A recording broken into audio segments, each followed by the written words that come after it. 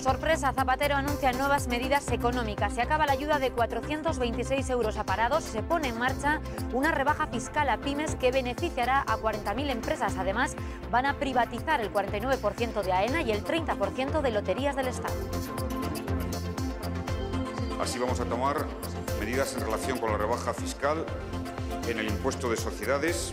De igual manera, dejará de estar en vigor el programa extraordinario de protección por desempleo e inserción, el PRODI.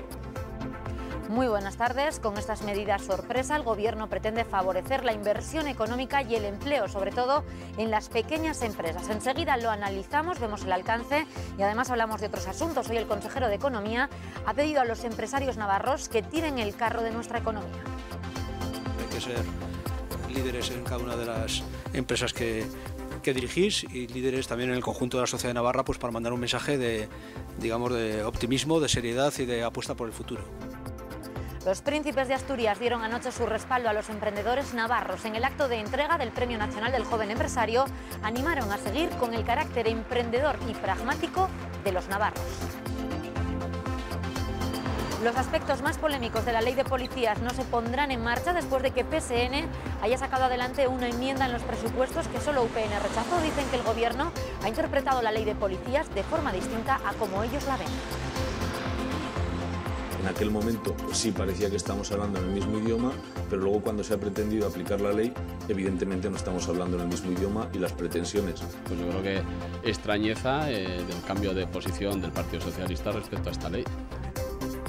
Todos con el lazo rojo en el Día Mundial contra el SIDA. En esta fecha se, se, sigue apostando por el uso del condón y por la realización de las pruebas de VIH si han mantenido relaciones de riesgo. Entre un 25 y un 30% de los infectados no saben que lo son. Y en deportes, Osasuna respeta al Fútbol Club Barcelona, pero no le teme. Los rojillos son sabedores de que si quieren tener alguna opción para puntuar y mantenerse imbatidos el próximo sábado, esto pasa por robarles el balón. Zapatero minimiza la, los apoyos fiscales a los pequeños empresarios y retira los 426 euros de ayuda a los parados de larga duración. Comenzamos. Canal 6 Noticias. Vera Villafranca. Nuestra primera cita nos lleva al Congreso. Allí, a primera hora de esta mañana, el presidente del Gobierno anunciaba una rebaja fiscal en los impuestos, en el impuesto de sociedades y un cambio en la definición de empresas de tamaño reducido. Medidas que, según ha asegurado, van a beneficiar a 40.000 pequeñas y medianas empresas. Esta situación no parece fácil que se pueda crear empleo en España y la pregunta que le hago es si va a hacer usted algo que permita a las pymes sobrevivir y crear empleo. A esta pregunta respondía Zapatero. El Gobierno tiene previsto aprobar el próximo viernes en el Consejo de Ministros nuevas medidas económicas, entre las que se encuentra el fin de la ayuda de 426 euros a parados de larga duración. Además, se va a adoptar el viernes un paquete de medidas en relación con la rebaja fiscal el impuesto de sociedades y los tramos de impuestos reducidos. Así vamos a tomar medidas en relación con la rebaja fiscal en el impuesto de sociedades, el primer tramo de base imponible que tributa al tipo reducido va a pasar de 120.000 a 300.000 euros y se va a ampliar el concepto de empresa de tamaño reducido por el volumen de facturación de 8 a 10 millones. Esto va a beneficiar a 40.000 empresas, pequeñas y pequeñas y medianas empresas de nuestro país. Además, como parte de las medidas para reducir el paro, el Gobierno también tiene previsto privatizar una parte de Loterías del Estado y de AENA, lo que supondrá la gestión privada por régimen concesional de los aeropuertos de Barajas y el Prat. Porque usted ha estado instalado en la improvisación, en el bandazo, en la rectificación. Hoy vamos a aumentar el déficit, mañana toca reducir el déficit. Y hoy día sigue sin un plan económico global. Rajoy ha criticado que el Gobierno presente el enésimo paquete de medidas y ha recordado que a día de hoy el Ejecutivo sigue sin un plan económico que mejore la competitividad. Nueva pregunta. Para y aquí en Navarra, el consejero de Economía del Gobierno Foral ha pedido hoy a los empresarios de nuestra comunidad que tiren del carro en un contexto que ha calificado de torbellino económico y financiero. Álvaro Miranda les ha hecho este llamamiento. Yo lo que os pido, veo que están aquí todos los directivos de vuestras empresas en Navarra, yo lo que os pido bueno, pues es sangre fría, decisión, optimismo, como decía el presidente de la Cámara, y bueno, pues eh, mirar hacia el futuro. ¿no? Yo creo que eh, no hay empresas sin personas, aquí estáis vosotros que sois las personas, hay que ser eh, líderes en cada una de las empresas que, que dirigís y líderes también en el conjunto de la sociedad de Navarra pues para mandar un mensaje de digamos de optimismo, de seriedad y de apuesta por el futuro. Yo creo que el secretario de Estado de Cooperación Territorial y el secretario de Relaciones Institucionales del Partido Socialista, Gaspar Zarrías, ha visitado hoy Pamplona para comprobar el desarrollo de las obras del Plan E en nuestra comunidad. En su visita ha cargado contra Rajoy, al que ha definido como el hooligan número uno de aquellos que están atacando España. Ha criticado la actitud, ha dicho, absolutamente irresponsable de la derecha y del Partido Popular ante esta crisis económica y ha hablado de Batasuna. Ha sido contundente y ha dicho que ninguna triquiñuela va a servir para que Batasuna pueda presentarse a las elecciones de mayo. Es irresponsable que Rajoy se haya convertido en el hooligan número uno de aquellos que están atacando a España. Se haya convertido en el hincha número uno de aquellos que están especulando para hacer daño a nuestro país. No vale todo, no vale todo, no vale todo para llegar a la Moncloa.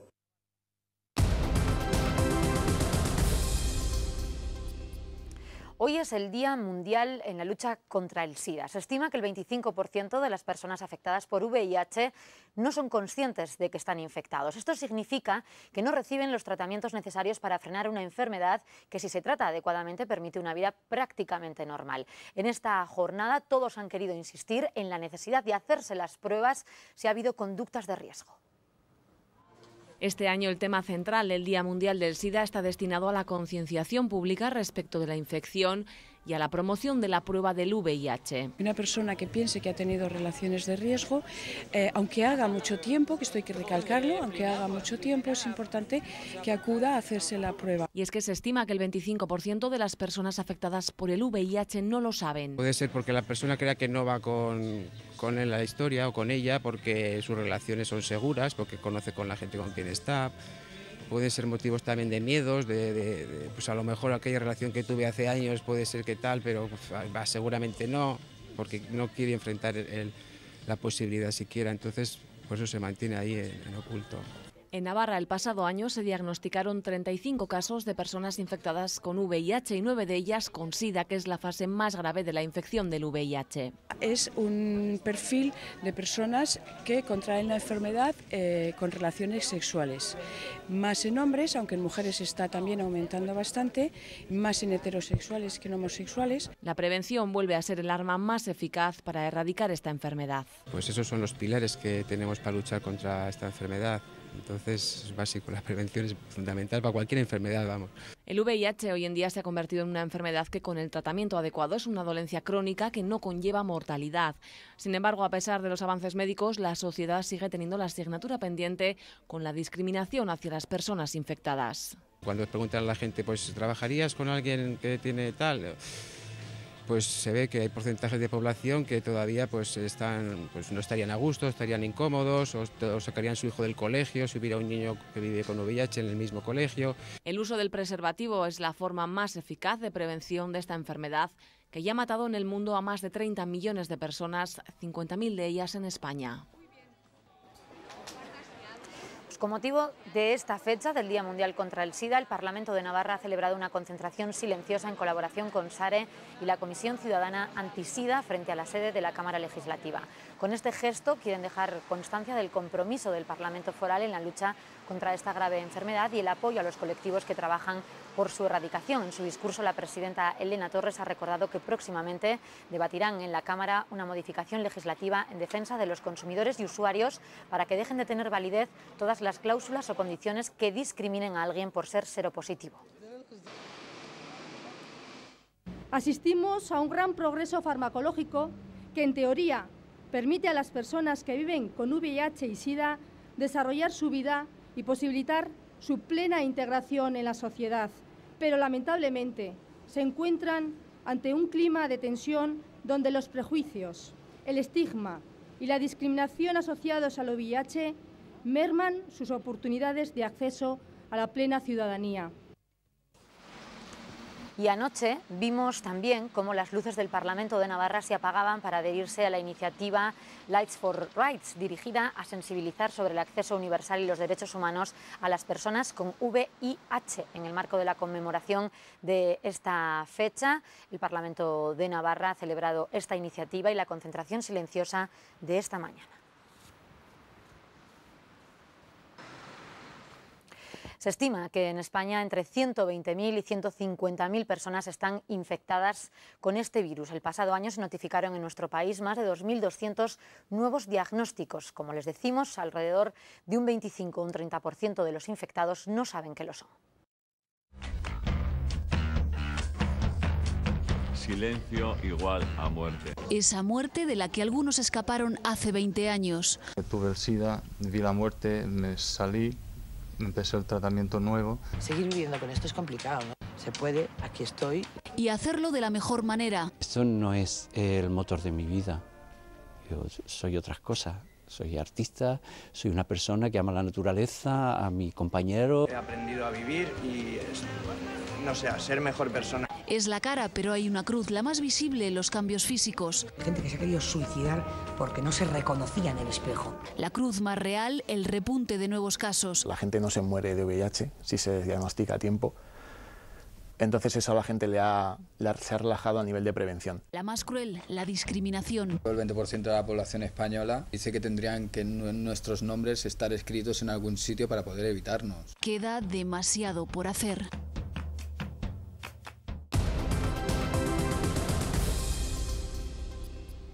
Los príncipes de Asturias y Viana asistieron anoche en Pamplona a la entrega del premio Joven Empresario concedido a la empresa Softonic de Barcelona. Don Felipe y doña Leticia mantuvieron también un encuentro con la junta directiva del grupo AN, que este año celebra su centenario.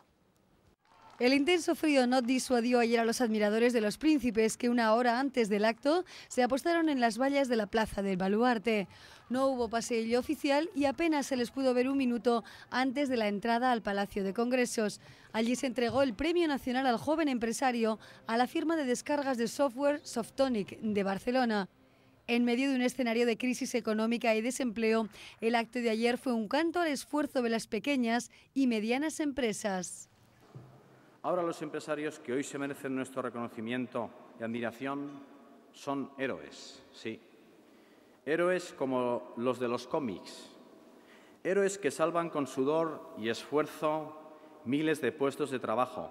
Hoy creo que se merecen un aplauso todos esos miles de jóvenes empresarios que están haciendo día a día un esfuerzo muy especial por nuestro país. Todos juntos lo haremos si estamos unidos,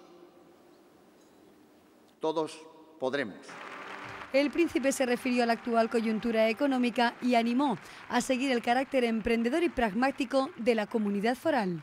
Portáis a nuestro sector productivo ilusión, preparación e idiomas.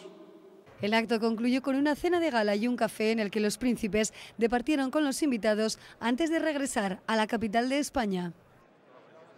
Ya se lo adelantamos anoche, una enmienda del Partido Socialista dentro del debate de los presupuestos de Navarra, apoyada por todos los grupos, excepto por UPN, lleva a rectificar la polémica ley de policías. Hoy los regionalistas han criticado la postura del PSN. El presidente Sanz ha mostrado su gran decepción y ha dicho que lo que se pacta se cumple.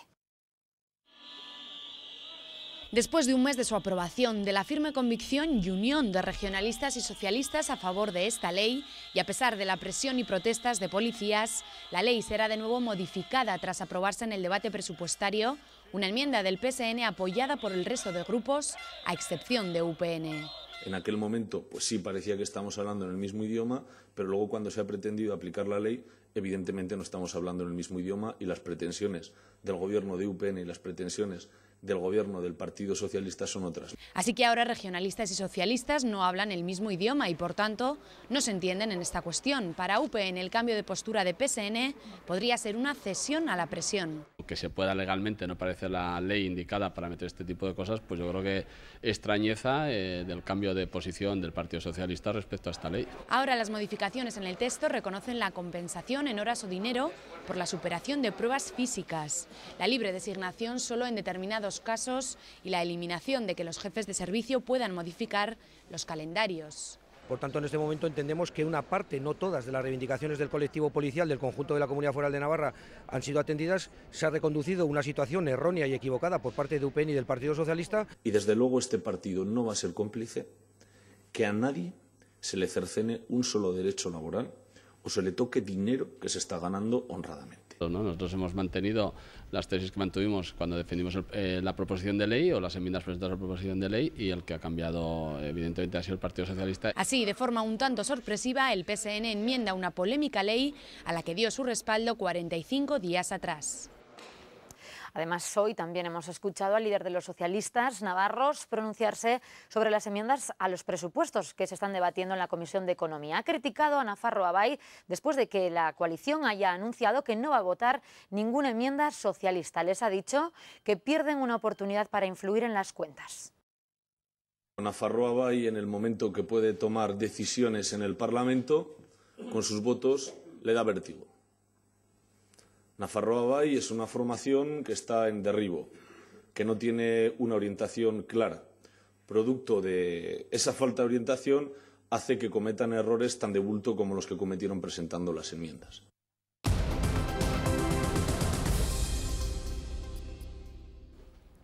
El temporal de frío y nieve sigue azotando Navarra, sobre todo en los puntos más altos de la comunidad. En Urbasa ha estado toda la mañana comprobando los efectos de la nieve nuestro compañero Fermín Las Peñas. Buenas y frías tardes, Fermín.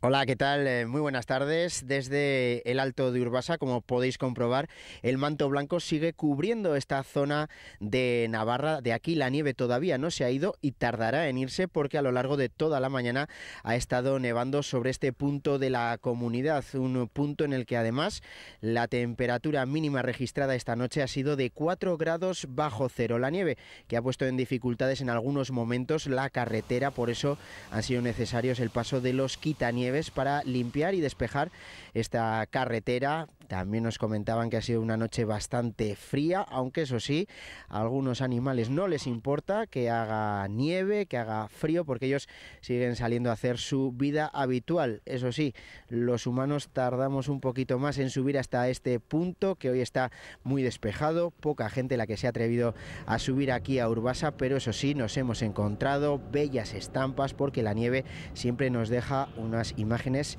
estupendas, maravillosas y sobre todo para disfrutar, aunque eso sí, con el coche hay que tener mucho, eh, mucho cuidado, hay que extremar la precaución. Si se van a acercar hasta este punto, lo dicho, mucho cuidado con el coche, disfruten de las imágenes y sobre todo, y si son senderistas o montañeros, mucho ojo con separarse de la carretera porque no sería el primer caso que tenemos que lamentar en un invierno de, de extrañas desapariciones. Pero eso sí, vengan a disfrutar aquí a Urbasa, nosotros lo hemos hecho y las estampas son realmente maravillosas. Gracias, Fermín. Y ahora a abrigarse. Ahora nos quedamos en Pamplona.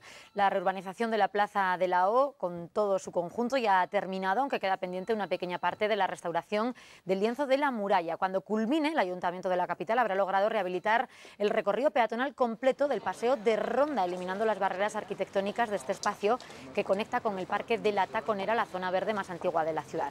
Las obras han requerido una inversión de 1.800.000 euros que ha venido a cargo del Plan E de este 2020. Esta mañana han visitado la zona los miembros de la Comisión de Urbanismo y la delegada del Gobierno.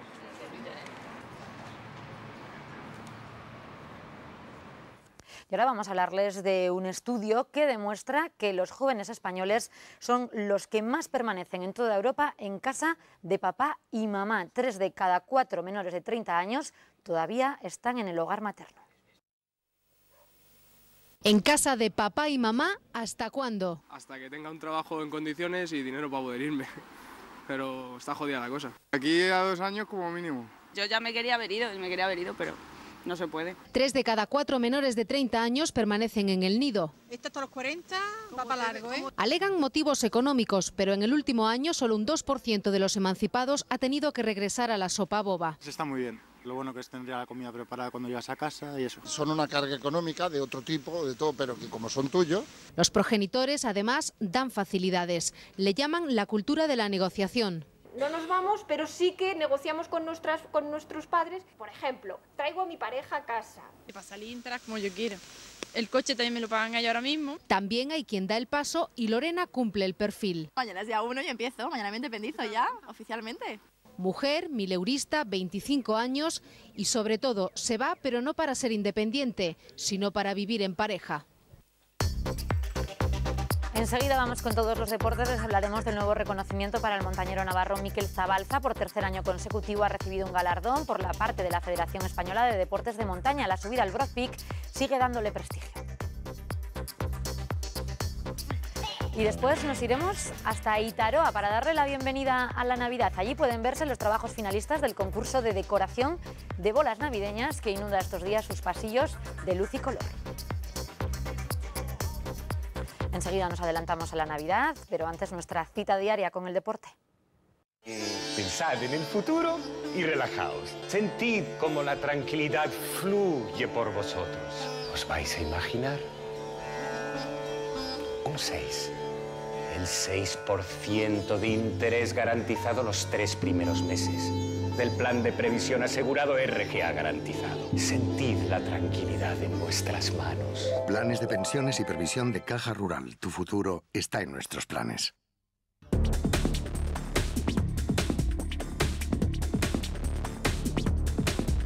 Segunda sesión de entrenamiento de Osasuna en Tajonar, pensando al 100% en el próximo rival. Ahí es nada, el Fútbol Club Barcelona. Hoy ha pasado por rueda de prensa Monreal, que ha vuelto a recalcar que respetan al rival, pero que no le temen a pesar de su buena forma. Muchos seguidores osasunistas estarán temerosos de recibir este Super Barça que encandila y maravilla cada partido que disputa. No es, sin embargo, la actitud de los jugadores rojillos. Recuerdan que los partidos ante los grandes se les dan bien y que esta vez no tiene por qué ser al revés. Conseguimos in extremis ¿no? ese, ese último gol que nos dio un punto y la verdad que, que bueno, yo creo que, que, hicimos un buen partido. ¿no? Entonces, en ese sentido, pues intentar salir de, de la misma manera, ¿no? A no a no dejarles que estén a gusto dentro del campo, porque si están a gusto, pues ya, ya vemos lo que hicieron el otro día ¿no? con el Madrid. Monreal revela además que la fórmula para superar al conjunto de Pep Guardiola pasa por juntar las líneas cuando aprietan los culés y ser generosos en el juego. No destaca ningún jugador por encima de otro, sino el bloque en su totalidad. Apretándolos y nosotros una vez que tenemos la pelota, pues intentar no, no perderla lo, lo antes posible. ¿no? Tenemos que estar nosotros junticos, dejarles los menos espacios posibles. Respecto al parte médico, Damia se ha entrenado en solitario, mientras que Aranda, un día más, ha trabajado de forma individual con el readaptador físico del equipo. Rupert, por su parte, sigue con su particular proceso de recuperación. Y esta tarde se disputa en Estella el partido de vuelta de la Copa Federación que enfrenta a Lizarra con el Palencia.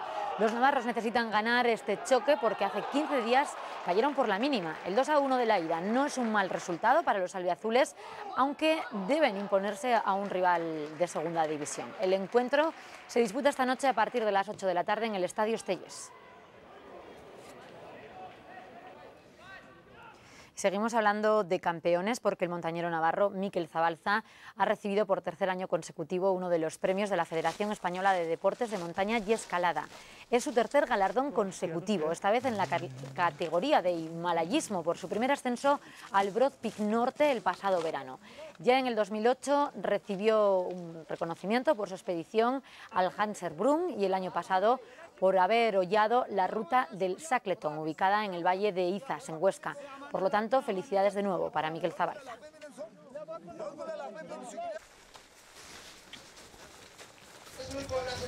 Y ahora les hablamos de un deporte que se adecua al frío que estamos viviendo en los últimos días. Nos referimos al Campeonato de España de Trineo con Perros que se ha celebrado en la localidad soriana de Vinuesa durante el pasado fin de semana. Un campeonato que ha tenido gran presencia en Navarra con la victoria de Javier Alemano en triciclo con cuatro perros, de Óscar Fernández de Prado en la categoría de seis perros nórdicos y Jorge Ibáñez en cuatro perros nórdicos. Por su parte, la navarra Adriana Antolín fue segunda en la categoría de seis perros. La competición disputada a dos mangas estuvo marcada por el frío que dejó las pistas duras y los tramos de agua con algunas zonas heladas, dando así espectacularidad al trazado. Y ahora nos centramos en pelota porque el frontón Euskal High no va a coger finalmente las semifinales del torneo de parejas de remonte. Un problema con la calefacción va a impedir que acojan estos enfrentamientos. La empresa organizadora Oriamendi ha intentado solventar el problema sin éxito, después de que los especialistas en este tipo de infraestructuras les comunicaran que sin calefacción propia era imposible que se disputaran los encuentros con las bajas temperaturas de los últimos días. Así las cosas, el Galarreta será el escenario que albergue este viernes las semifinales y la final previsiblemente el día 18 de diciembre. Pensad en el futuro y relajaos. Sentid cómo la tranquilidad fluye por vosotros. ¿Os vais a imaginar? Un 6. El 6% de interés garantizado los tres primeros meses. Del plan de previsión asegurado RGA garantizado. Sentid la tranquilidad en vuestras manos. Planes de pensiones y previsión de caja rural. Tu futuro está en nuestros planes.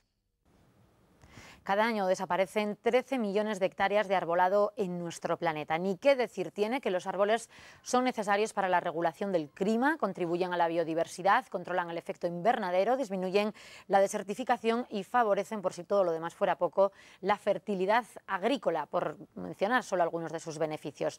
Hoy, precisamente, para preservar nuestros árboles, les hablamos de una iniciativa que insta a recuperarlos. Para ahorrar con Iberdrola el 30% del fijo del gas y el 10% del de la luz, ¿tengo que tener un molino en mi casa? No. Es tan sencillo como llamar al 900-225-235 y contratar luz y gas Iberdrola.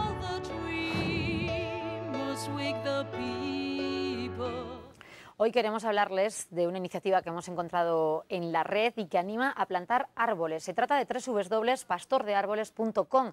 Desde allí se pretende contribuir al objetivo de Naciones Unidas para el Medio Ambiente de plantar mil millones de árboles en el mundo cada año. En esta página los que quieran puedan registrarse y enseñar qué árbol y dónde lo han plantado. Además, muestra consejos para la plantación y, anuda, y anima a cuidar los espacios arbolados. Para ahorrar con Iberdrola el 30% del fijo del gas y el 10% del de la luz, ¿tengo que tener un molino en mi casa? No. Es tan sencillo como llamar al 900-225-235 y contratar luz y gas Iberdrola.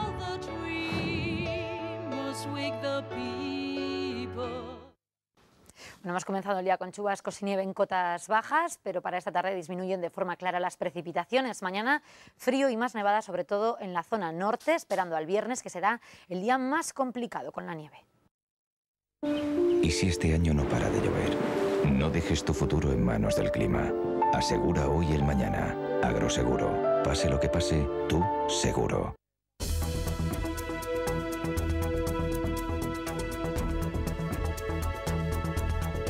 Mañana estará muy nuboso en el tercio norte con chubascos débiles y moderados que pueden ir acompañados de tormenta y precipitar granizo en el extremo noroeste. En el resto del cuadrante noroeste estará nuboso con chubascos débiles. En la zona centro y mitad peninsular habrá intervalos nubosos tendiendo a poco nuboso en la vertiente con chubascos débiles y dispersos más probables en Andalucía y zona del estrecho, donde podrían ser localmente moderados.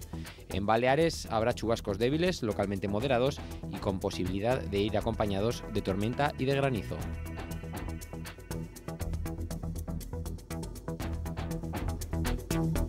En Navarra tendremos en la zona norte y noreste muy nuboso con chubascos intermitentes, localmente tormentosos y con granizo de nieve en torno a los 200-300 metros.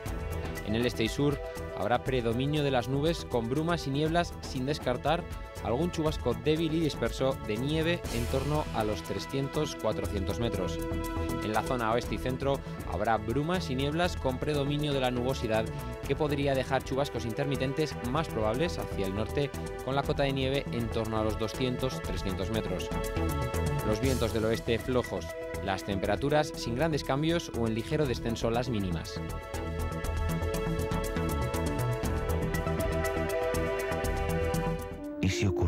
Inesperado? Hay cosas que no se pueden predecir. Tu futuro, sí. Asegura hoy el mañana. Agroseguro. Pase lo que pase, tú seguro. El ingeniero pamplonés Javier Manterola ha recibido este mediodía la medalla de oro del Círculo de Bellas Artes. El premio reconoce su aportación a la ingeniería civil y su integración en la naturaleza. Actualmente el ingeniero navarro está inmerso en la obra del Puente de la Pepa en Cádiz, su proyecto sin duda más ambicioso.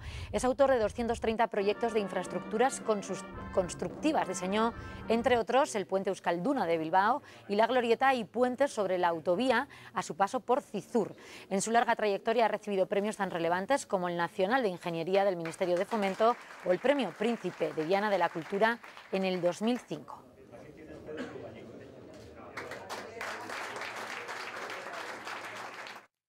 Y ahora nos vamos hasta el centro comercial Itaroa, que tras el éxito del año pasado ha vuelto a organizar nuevamente el certamen artístico para decorar mediante pinturas, collage o elementos ornamentales bolas de calado navideño. El objeto de este concurso es colocarlas después como parte de su decoración tradicional de Navidad. La creatividad de los 15 finalistas puede apreciarse ya estos días en el centro comercial. Durante las Navidades habrá un proceso de votación popular y se determinarán los ganadores. Habrá premio para todos los finalistas y el ganador absoluto se llevará 600 euros.